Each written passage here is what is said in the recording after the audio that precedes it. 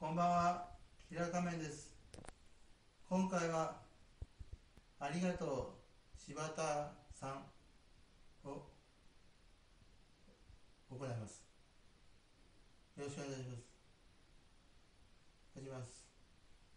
ありがとう、ありがとう、ありがとう、ありがとう、柴田さん。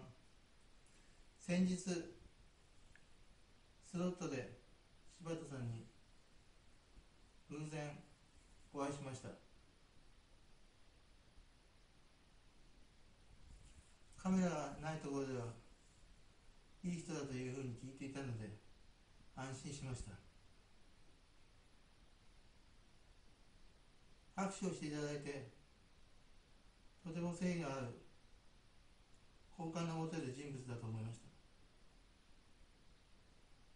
ここでお話としてはおしまいかなというふうに思うんですけどその後がありまして私その日はすごく負けてばっかりでどうしようもなかったんですけどその握手をした手でスロットやり直したら大勝ちしまして柴田さんはただのいい人ではなしに実は揚げまん親父だったんです。今度お会いした時にそのお礼としてドラゴンボールの私が一番気に入ってる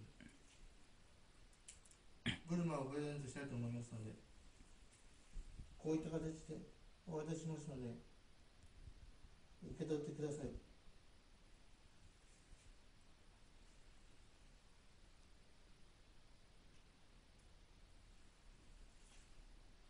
ありがとう。ありがとう。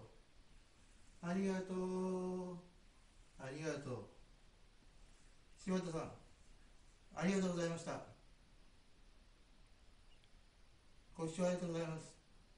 チャンネル登録の方もよろしくお願いいたします。